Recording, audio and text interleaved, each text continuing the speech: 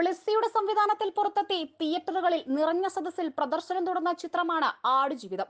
ഇപ്പോഴിതാ ആടുജീവിതത്തിലെ നജീബിനുണ്ടായ അനുഭവം ആർക്കും സംഭവിക്കാം. അതിന്റെ പേരിൽ ഒരു സമൂഹത്തെ മുഴുവൻ കുറ്റപ്പെടുത്തേണ്ടത് ശരിയല്ലെന്ന് പറയുകയാണ് അറബ് നടൻ റിക് അബെ. ദുബായിൽ ചിത്രത്തിന്റെ ആദ്യ ഷോ കണ്ടിറങ്ങിയപ്പോഴാണ് റിക്കബെ പ്രതികരിച്ചത്. ചിത്രത്തിൽ നജീബിന്റെ മഷ്റ ഉടമകളിൽ ഒരാളുടെ വേഷം കൈകാര്യം ചെയ്ത താരമാണ് റിക്കബെ. നജീബിനുണ്ടായ ദുരനുഭവം ആർക്കും സംഭവിക്കാം. എന്നാൽ നേരിടേണ്ടി വന്ന ക്രൂരതയുടെ പേരിൽ ഒരു സമൂഹത്തെ മുഴുവൻ പഴിക്കാനാവില്ല എന്നാണ് അദ്ദേഹം പറയുന്നത്.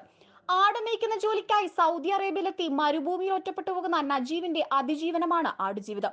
ബെഹ്റിൽ പ്രവാസിയായിരുന്ന കാലത്ത് ബെന്യാമിൻ നജീബിൽ നിന്ന് കേട്ടറിഞ്ഞ കാര്യങ്ങളാണ് രണ്ടായിരത്തി എട്ടിൽ നോവലായി പ്രസിദ്ധീകരിച്ചത്.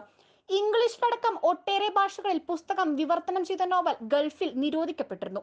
നജീബിനെ അറബി കൊണ്ടുപോയി മരുഭൂമിയിൽ തള്ളുന്നതും ഭക്ഷണം പോലും നൽകാതെ പണിയെടുപ്പിക്കുന്നതുമാണ് നോവൽ ഗൾഫിൽ നിരോധിക്കാൻ കാരണമായത്. അതുകൊണ്ട് തന്നെ ഗൾഫ് രാജ്യങ്ങളിൽ യു എയിൽ മാത്രമേ സിനിമയ്ക്ക് പ്രദർശന അനുമതി ലഭിച്ചിട്ടുള്ളൂ. അതേസമയം ആഗോളതലത്തിൽ പതിനഞ്ച് കോടി രൂപ കളക്ഷൻ ആടുജീവിതം ഓപ്പണിംഗ് ദിനത്തിൽ നേടിയിട്ടുണ്ട്. ഏഴ് പോയിന്റ് ഏഴ് അഞ്ച് കോടി രൂപയാണ് ചിത്രം ഇന്ത്യയിൽ നിന്ന് മാത്രം നേടിയത്. ബ്ലെസ്സിയുടെ മേക്കിങ്ങിനെയും പൃഥ്വിരാജിന്റെയും ഡെഡിക്കേഷനെയും പുകഴ്ത്തുകയാണ് പ്രേക്ഷകർ ഒന്നടങ്കം.